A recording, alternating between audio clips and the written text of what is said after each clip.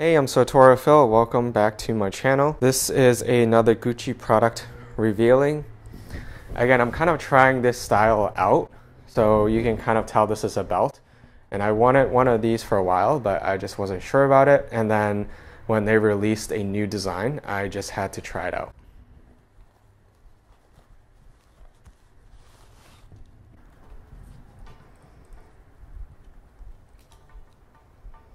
This is the GG Marmont logo belt, but the special thing here that I love is that the first G is actually a serpent, and I believe it's a king snake based on the patterning. It has the stripes and the scales.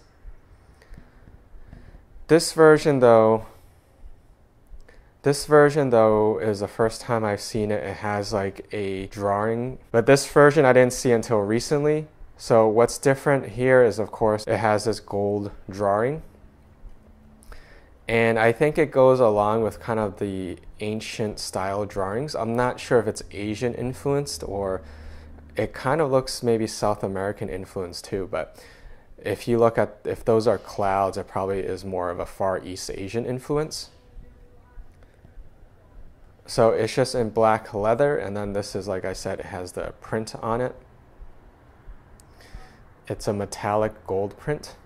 And this is very substantial, it's very heavy. The way this belt works is that there's a arm here that you just, it just goes through the hole. So there's no buckle system that you're normally probably familiar with. Basically here you have each of the holes and then here you basically just put it right through there.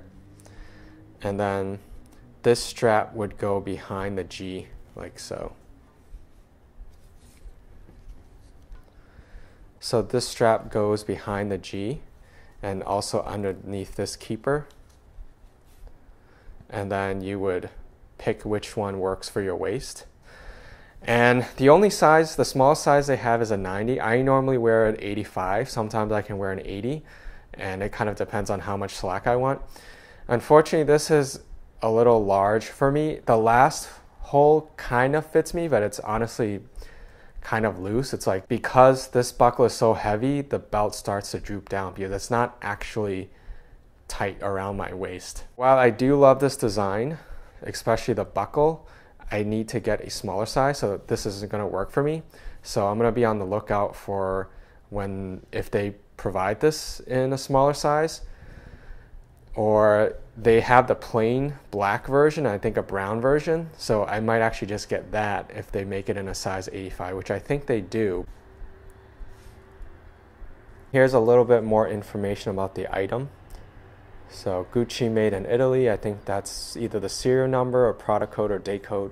This is a size 90, which translates to a 36 inch US waist. That might be the product number, I'm not sure.